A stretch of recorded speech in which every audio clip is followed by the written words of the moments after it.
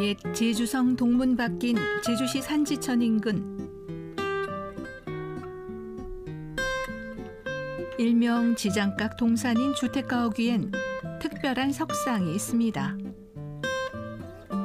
마치 동자석과 돌하르방을 섞어 놓은 듯한데요. 동자복은 사람들에게 미륵으로 불렸습니다.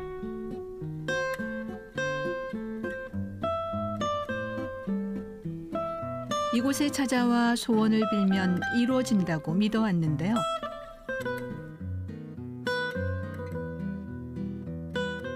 이 동자복 미륵은 그 가정의 평화와 그리고 재물, 그리고 등남을 기원하는 석상입니다. 불교와 민간 신앙이 만난 석상엔 제주의 미학도 깃들어 있습니다.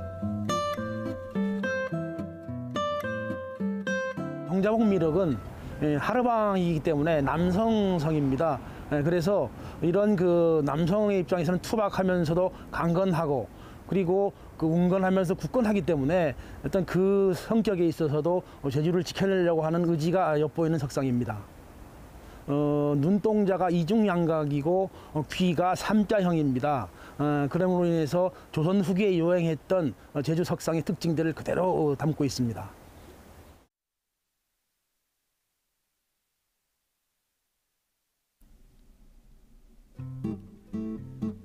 미륵 석상은 제주성을 사이에 두고 서문 밖에도 있습니다.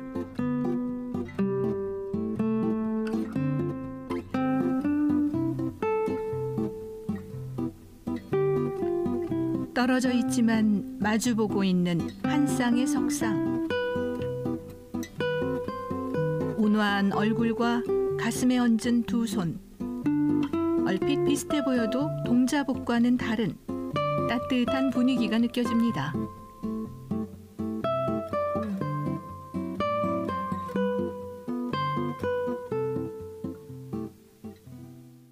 어, 이 서자복 미륵은 이 동네 사람들이 큰 어른이라고도 해요.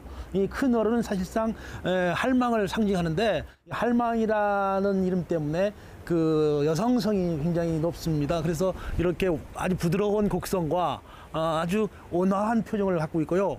이쪽에 보시면은 어, 그 초생달 모양의 귀를 갖고 있는데 하르방인 삼자형과는 대조되는 것입니다.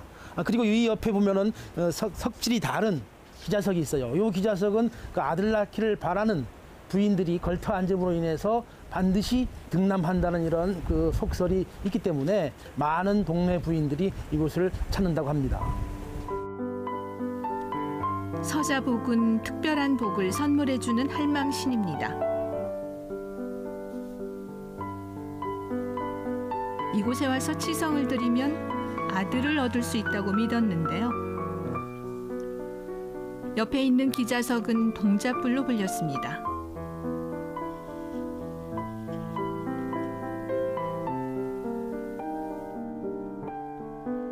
신과 함께 살았던 섬 사람들.